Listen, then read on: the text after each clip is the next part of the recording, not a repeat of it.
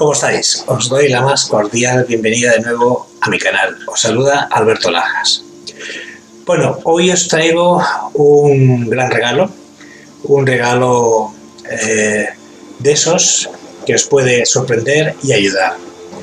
Muchos que me seguís ya conocéis el regalo que os hice en su día del Padre Nuestro en la versión en arameo, eh, la cual tiene, tiene poder sanador cantarla, recitar el Padre Nuestro, eh, está comprobado que tiene poderes sanadores. Pero hoy os vengo a regalar algo que es muy poco conocido y es el Ave María recitado, cantado en arameo. Precisamente son varios científicos que mm, han pedido a dos cantantes, pidieron a dos cantantes, que son los que vais a escuchar, que cantaran el Ave María en arameo para ver sus efectos sanadores. Estos científicos han podido constatar que todos aquellos que escucharon al menos durante 20 o 30 días, todos los días, el Ave María en arameo, tuvieron casos de sanación grandísimos. Incluso hablan de sanación de cáncer.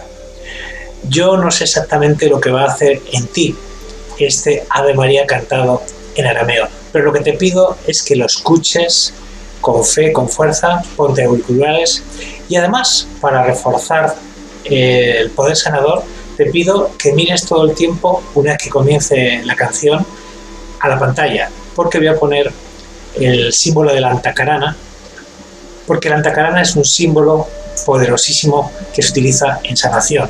Solo con mirar la antacarana ya ah, vas a empezar a notar un poder, una energía especial.